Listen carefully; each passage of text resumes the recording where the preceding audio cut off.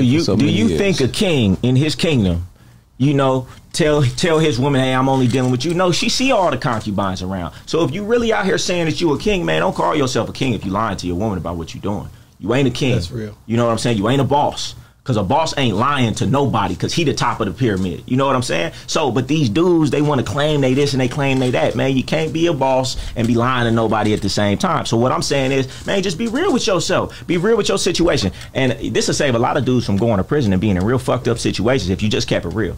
A woman could only be so mad at you when you let her know what it was. I let a woman know, hey, check this out. I'm gonna do what I want when I want, how I want, but I fuck with you, baby. You know, we got something special. You know, but if that's gonna stop us from being together, then shit, it is, it is what it is. I want to let you know, and I let my woman know like this too.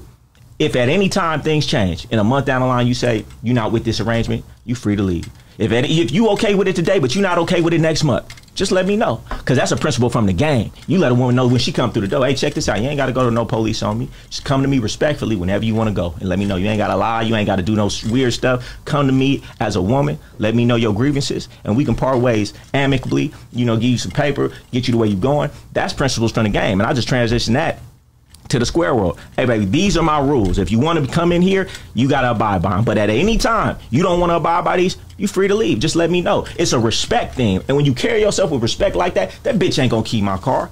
She couldn't even find it in her soul.